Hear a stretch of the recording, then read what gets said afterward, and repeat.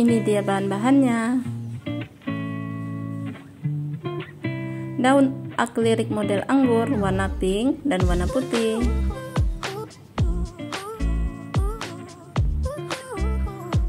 Bahan model sendok warna pink.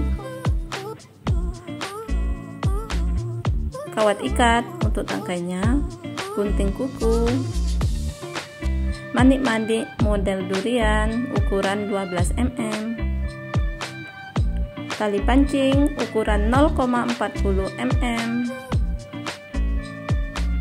kawat twister. Lanjut langsung ke proses. Ini dia rangkai terlebih dahulu bahan model sendoknya